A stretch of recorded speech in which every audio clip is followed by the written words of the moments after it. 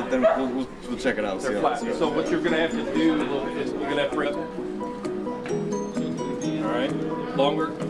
So bending like this. We don't want it dead straight. We want it to bend a little bit as the hips come forward. Now you step through on the other side. Okay, so. So it's kind of almost a rocking motion with your hips here.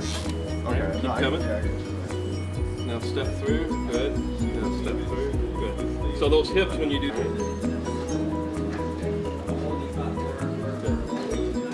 Speed up. Use use at least both hands with one hand and speed up. Good.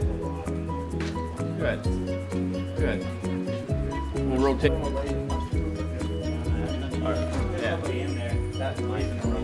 See, relax those arms. a little. Your core is what stabilizes you.